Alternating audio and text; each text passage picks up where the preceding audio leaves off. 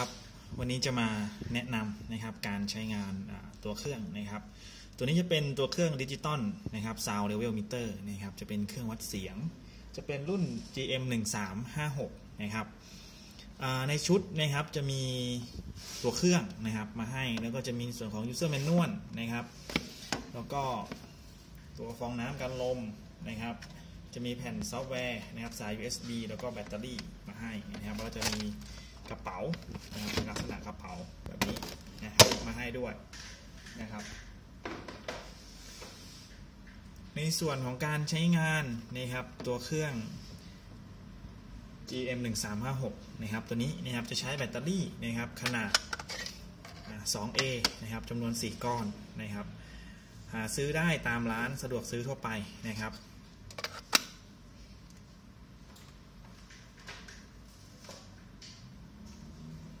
นะครับ ด้านข้างนะครับ ด้านข้างก็จะมีในส่วนของตัวเชื่อมต่อ USB นะครับตัวนี้นะครับด้านหน้าก็จะเป็นในส่วนของหน้าจอนะครับส่วนหน้าจอแล้วก็ปุ่มกดต่างๆนะครับ ปุ่มเปิดเครื่องนะครับ ปุ่ม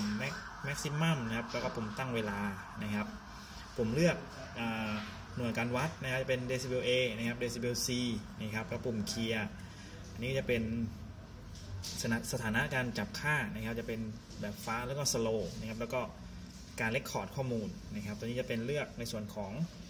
เลเวลหรือย่านการวัดนะครับนะครับสำหรับการใช้งานนะครับ เราควรจะใส่ตัวฟองน้ำนะครับเพื่อการลมนะครับ ส่วนด้านหลังตัวนี้ก็สามารถใส่กับขาตั้งกล้องได้นะครับตัวนี้นะครับเราเปิดเครื่องนะครับ เราเปิดเครื่องขึ้นมากดปุ่มเปิดเครื่อง หน้าจอก็โชว์วันที่นี่ครับ ขึ้นมาอะแล้วหน้าจอนะครับหน้าจอก็จะโชว์เป็น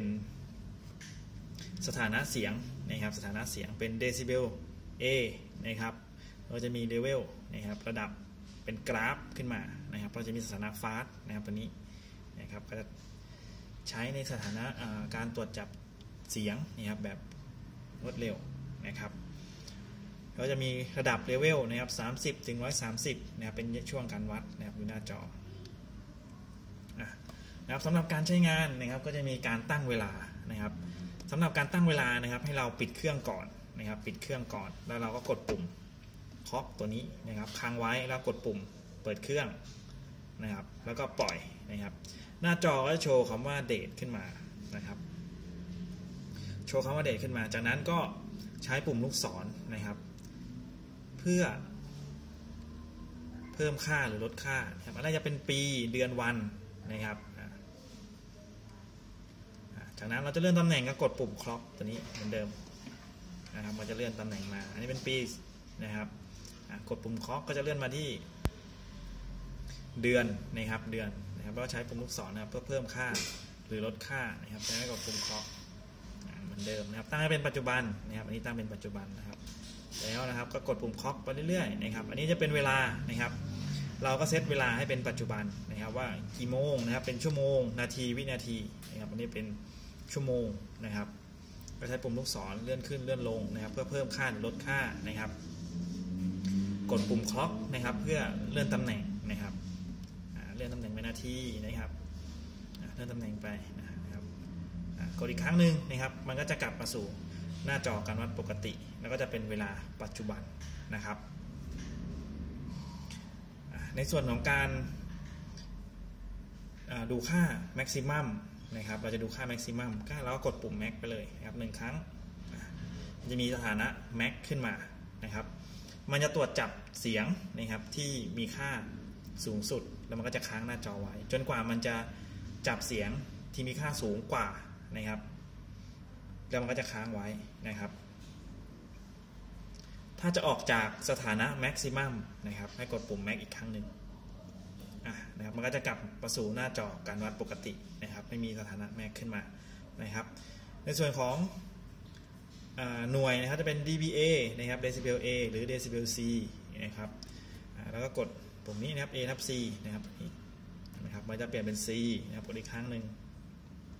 จะเปลี่ยนเป็น A นะครับ ในส่วนของเลเวลนะครับเลเวลก็คือให้สังเกตมุมซ้ายกับมุมขวานะครับ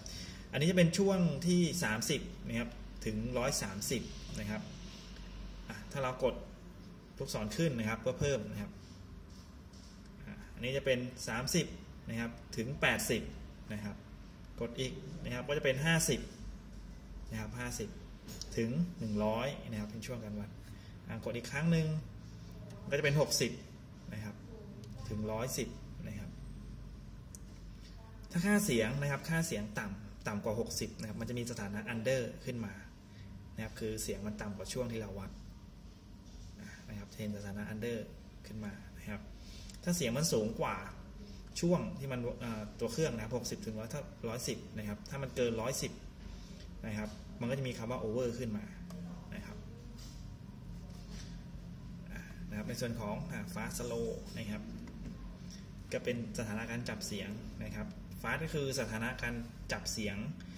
ที่มีการเปลี่ยนแปลงอย่างรวดเร็วนะครับ คืออย่างเช่นเสียงเพลงอะไรพวกนี้นะครับฟาสนะครับslow นะครับอะต่อไปจะเป็นการตั้งค่า record นะครับ ตั้งค่า record นะครับจะมีปุ่ม record อยู่ตรงนี้นะครับ ให้เรากดปุ่ม record นะครับค้างไว้อะนะครับ มันจะมีเลขหนึ่งขึ้นมานะครับ คือ หนึ่งวิมันจะจับ มันจะบันทึกหนึ่งครั้งนะครับหนึ่งวิมันจะบันทึกหนึ่งครั้งนะครับ ถ้าเราต้องการสักสิบวิหรือห้าวิอะเราต้องการห้าวิเราก็เลื่อนไปห้าอะห้าวิเนี่ยครับ จากนั้นกดปุ่มเรคคอร์ดอีกครั้งหนึ่งอะมันก็จะโชว์สถานะเรคคอร์ดนะครับห้าวินาทีนะครับ มันจะบันทึกหนึ่งครั้งนะครับ สังเกตง่ายๆนะครับ มันจะกระพริบหนึ่งหนึ่งครั้งทุก 5 วินาทีนะครับ มันจะบันทึกทุก 5 วินาทีนะครับบันทึกค่านะครับถ้าเราจะยกเลิกการเรคคอร์ดนะครับเราก็กดสถานะเรคคอร์ดก็จะหายไปนะครับทีนี้นะครับเราจะเคลียร์ข้อข้อมูลที่เราบันทึกไว้นะครับเราจะเห็นปุ่มเคลียร์นะครับจะอยู่ปุ่มเดียวกับปุ่ม A ทับ C นะครับถ้าเราจะเคลียร์นะครับให้เรากดปุ่มเคลียร์ค้างไว้นะครับ มันจะขึ้น CLR นะครับ ก็คือการเคลียร์ข้อมูลที่เรา record อัตโนมัติไว้นะครับ จากนั้นเราก็สามารถนะครับ ถ้าเรา record แล้วเราก็เอาข้อมูลนะครับ ไปลิงก์กับซอฟต์แวร์นะครับ กับคอมพิวเตอร์เรานะครับ เพื่อที่จะดาวน์โหลดนะครับออกมานะครับ ในส่วนของ